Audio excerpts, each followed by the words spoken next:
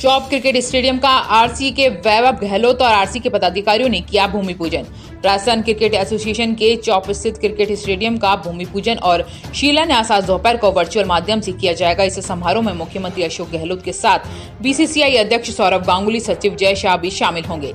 इससे पहले आरसीए पदाधिकारी सुबह भूमि पूजन करे 280 करोड़ की लागत से स्टेडियम के पहले फ़ेज़ का निर्माण कार्य दोपहर 12 बजे से शुरू कर दिया जाएगा। वहीं अब जयपुर में बनने वाला ये स्टेडियम देश का दूसरा और दुनिया का तीसरा सबसे बड़ा स्टेडियम बन जाएगा। अहमदाबाद में बना मोटेरा स्टेडियम की दर्शक क्षमता एक लाख दस हज़ार की है। वहीं ऑस्ट्रेलिया के मेलबर्न क्रिकेट ग्राउंड की क्षमता एक लाख दर्शक की है। ऐसे में मोटेरा दुनिया का सबसे बड़ा क्रिकेट स्टेडियम है। आरसीए सचिव महेंद्र शर्मा के अनुसार जयपुर में बनने वाला विश्व के तीसरे सबसे बड़े अंतर्राष्ट्रीय क्रिकेट स्टेडियम के भूमि पूजन व शिलान्यास पट्टिका के अनावरण समारोह में राजस्थान के माननीय मुख्यमंत्री अशोक गहलोत मुख्य अतिथि के रूप में वर्चुअल मौजूद रहेंगे। साथ ही बीसीसीआई अध्यक्ष सौरभ गांगुली, सचिव जय शाह, कोषाध्यक्ष अरुण धूमल, वर्चुअल रूप से वह विधानसभा अध्यक्ष व आरसी के मुख्य संरक्षक, डॉक्टर सीपी जोशी आरसी अध्यक्ष वैभव गहलोत, उपाध्यक्ष आमीन पठान, सचिव महेंद्र शर्मा, संयुक्त सचिव महेंद्र नाहर, कार्यकारिणी सदस्य देवाराम चौधरी आरसी के सलाहकार जी एस संधु, भवानी सामोता, जिला क्रिकेट संघ सदस्य, पूर्व वर्तमान रणजी खिलाड़ियों सहित अन्य विशिष्ट व गरिमामय अतिथि कार्यक्रम के दौरान आरसीए अकादमी में मौजूद रहेंगे।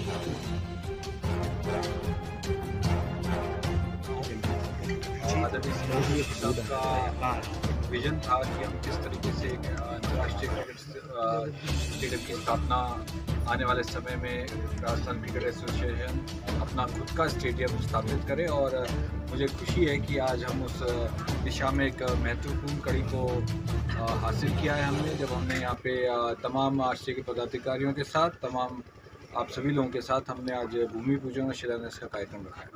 तो वर्चुअल कार्यक्रम भी रहेगा उसमें। इसके बाद हमने बारह बजे स्टेडियम के अंदर आर सी अकेडमी के अंदर, वहाँ पे हमने वर्चुअल तौर पर माननीय मुख्यमंत्री जी हम हमारे साथ जुड़ेंगे और साथ ही पीसीसीआई के प्रेसिडेंट सौरभ गांगुली जी और बीसीसीआई के सेक्रेटरी श्री जय शाह जी तमाम लोग वर्चुअल तौर पर जुड़े सर बर्ड क्लास स्टेडियम तीस सितंबर का मिलने वाला है। मैचों की मेज़बानी पे कितना फ़र्क पड़ा क्योंकि एस एस स्टेडियम पहले छोटा था तो मैचों की मेज़बानी कम मिलती थी। अब बड़ा बर्ड क्लास स्टेडियम हो तो कितने मैचों की मेज़बानी ज़्यादा मिलने के आसार है? निश्चित तौर पर हमारी कोशिश रहेगी ये तो नौ तारीख को भी मैच राजस्थान क्रिकेट एसोसिएशन को मैंने पहले भी जैसा आपको बताया कि बी को धन्यवाद दिया था, पर अगर कोर्ट की गाइडलाइंस की वजह से बीसीसीआई के एपेक्स बॉडी ने निर्णय लिया कि इन मैचेस को हम लोग जो अलग अलग वेन्यूज़ थे, उनको वेन्यूज़ को कर्टेल करते हुए केवल दो वेन्यूज़ पे अहमदाबाद और कलकत्ता रखा गया। इस वजह से मैच यहाँ से जयपुर से चला गया। मगर मुझे पूर्ण विश्वास है, आने वाले समय में जब ये अंतर्राष्ट्रीय स्तर का क्रिकेट स्टेडियम आने वाले वर्षों में तैयार होकर खड़ा होगा, निश्चित तौर पर यहाँ पे बेहतरीन क्रिकेट और बेहतरीन मैच होंगे। डोमेस्टिक क्रिकेट को लेकर के वापस से प्लानिंग होगी क्योंकि एक बार की प्रभाव पड़ा है कोविड के कारण।